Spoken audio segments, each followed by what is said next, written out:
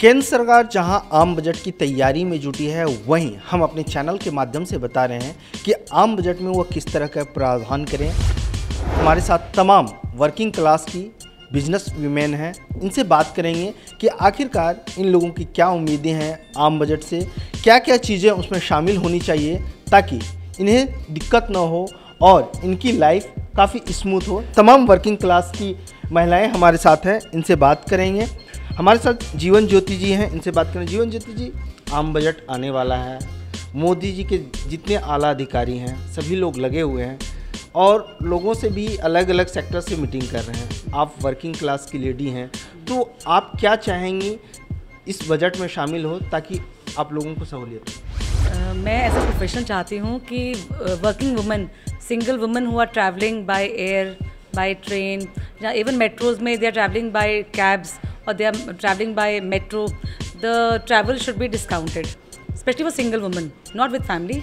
उनका travel should be discounted. They should be given some additional budget so that वो अपना business nationally और internationally बखूबी से बढ़ा सकें मतलब ये कह रही है कि अगर हमें कुछ सहूलियत मिल जाए ट्रैवलिंग में तो आप अपने काम को और आगे बढ़ा सकते हाँ मैं अपने काम को और आगे बढ़ा सकती हूँ और मेरे को सोचना नहीं पड़ेगा अपने काम को बढ़ाते वक्त कि मुझे ट्रैवल में इतना पैसा खर्च हो रहा है तो I think it women should be given some advantage over the rest of the population थोड़ा सा सुझाव देंगे क्या स्लैब कितना होना चाहिए? कितना परसेंट कम हो जाए ताकि आपके लिए सहूलियत हो जाए? At least twenty percent twenty percent कम हो यार ट्रैवलिंग में और तमाम ट्रैवलिंग में। लीजा जी हमारे साथ हैं। लीजा जी आप किस तरह की उम्मीद रखते हैं? Budget This is the time of the year that everybody is hoping. Our finance minister uh, has some good news for us for this uh, coming budget.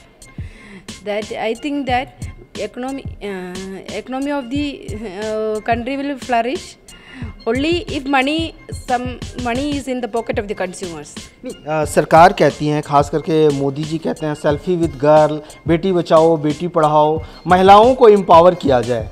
तो वीमेन एम्पावरमेंट के तहत आप किस तरह की उम्मीद रखती हैं? तो सेविंग्स लिमिट्स जो पहले थे सम वेरीज था जेंट्स और लेडीज़ में। अब वीमेन की वो कोई वेरिएंट्स नहीं है। बहुत means limit are same for economic savings limit to be slab बढ़ाया जाए ताकि इनको इनके अंदर जो डिस्पैरिटी है वो कम हो सके। हमारे साथ आप क्या उम्मीद रखती हैं? मेरी मोदी सरकार से ये उम्मीद है या मैं एक्सपेक्ट करती हूँ कि जो मेटर्निटी लीव लेडीज़ को दी जाती है वो कम से कम छः महीने हो क्योंकि जो सरकार रिकमेंड करती है छः महीने एक्सक्लूसिव ब्रेस्ट फीडिंग लेकिन प्राइवेट सेक्टर में जो मेटर्निटी लीव है वो खाली तीन महीने है। तो एक लेडी के लिए बहुत मुश्किल है काम पे वापस आना अपने बच्चे के छोटे तीन महीने के बच्चे को छोड़ के।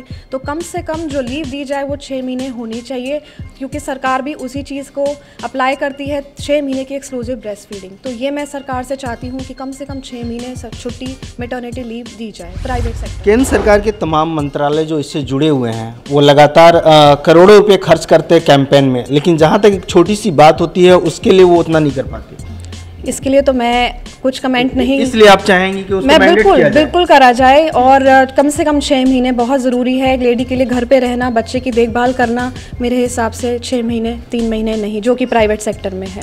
अनिका जी आपसे बात करेंगे क्योंकि मोदी जी ने अच्छे दिन का वायदा किया था।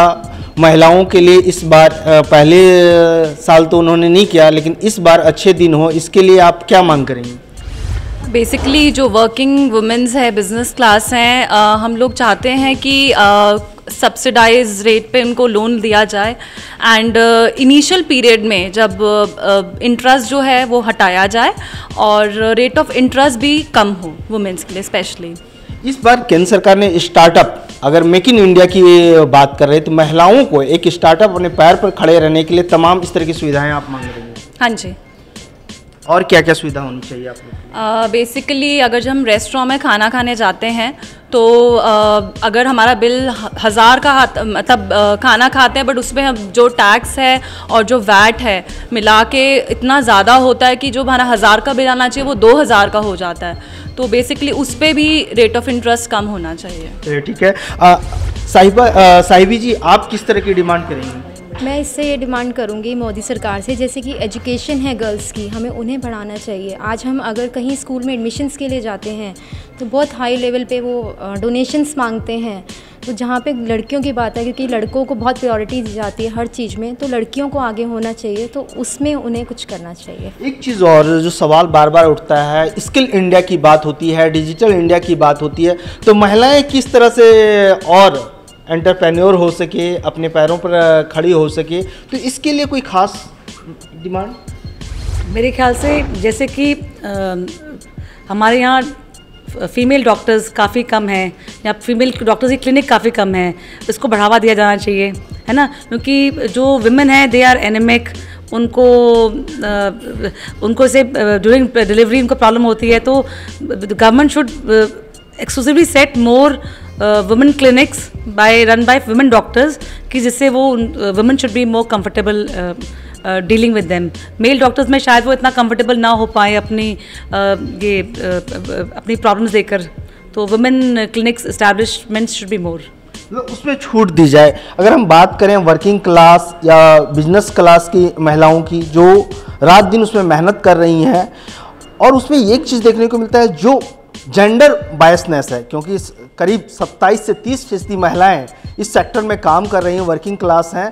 तो जो सबका साथ, सबका विकास का नारा मोदी सरकार लगातार दे रही हैं, क्या वो इक्वलिटी आ पाए इसके लिए हमारे साथ शिखा जी हैं। शिखा जी आप किस तरह से डिमांड करेंगे?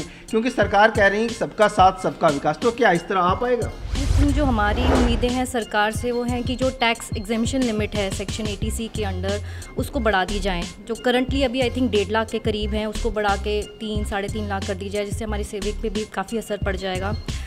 सेकेंडली uh, uh, जो ऑटो लोन है औरतों के लिए उस पर सब्सिडी दी जा सकती है ताकि जो सिंगल वर्किंग मदर्स हैं या फिर जिसमें डुअल इनकम है लेकिन एक ही गाड़ी है, उसके लिए औरतों को सुविधा मिल जाएँगी ऑटो लोन पे अगर सब्सिडी हुई।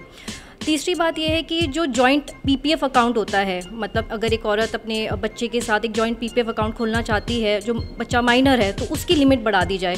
Currently I think it's around डेढ़ लाख रुपए तो उसको बढ़ा के मेरे ख्याल से दो ढाई लाख कर दी जाए तो उससे भी सेविंग्स पे काफ़ी असर पड़ जाएगा।